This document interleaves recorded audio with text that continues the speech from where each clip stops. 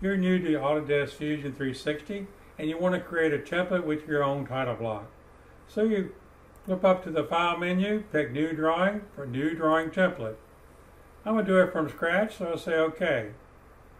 Up comes the existing, the default template. I'm going to go ahead and just get rid of this, and you say I want to design my own title block. So you expand the sheet settings, right click on title block and say new title block. Well, you could use from existing, you could use the existing title block we just deleted. It's still there, but you can actually edit that one. You could use an AutoCAD drawing, but you don't have AutoCAD, so you don't have a drawing. So you're going to do it from scratch. Let me jump into one real quick and show you something that's going to hit you real hard.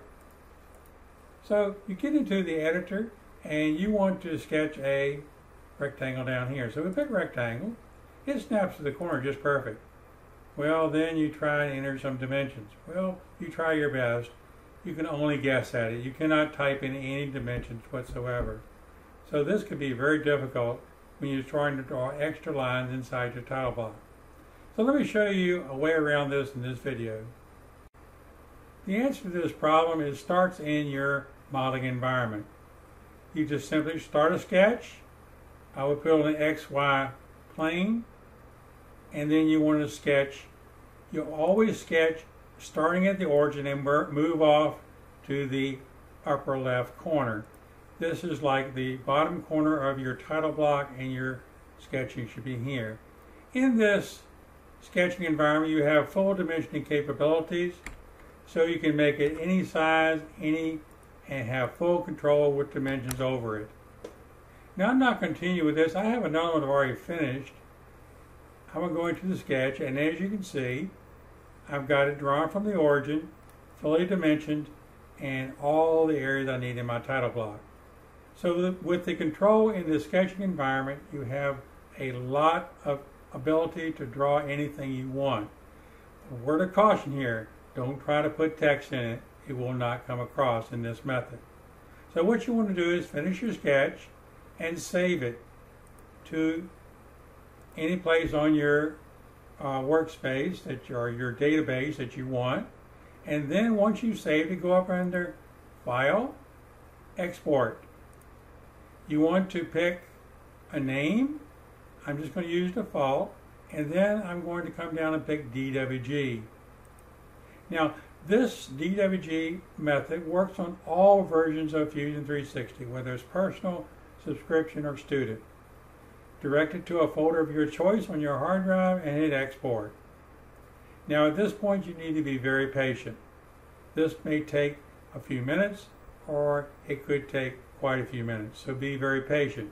If you want to close this, you can and come back later. It will give you a note that comes up and says it's finished and also appear in your folder.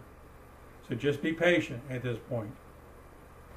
So now that your DWG has finished and is in your local folder, you want to go back and create your template. So new drawing, new drawing template, I'm doing it from scratch.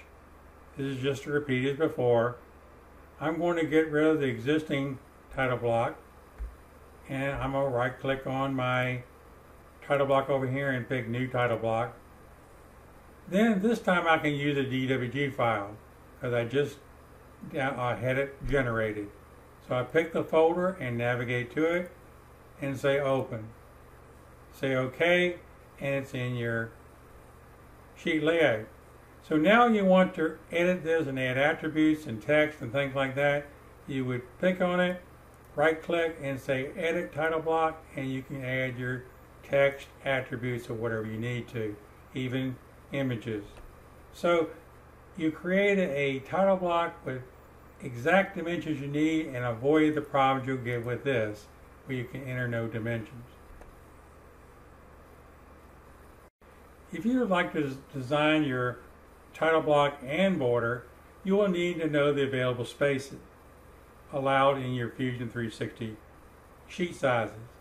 I will recommend a website for you.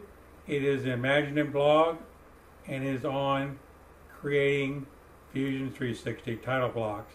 I'll put a link underneath the video in YouTube.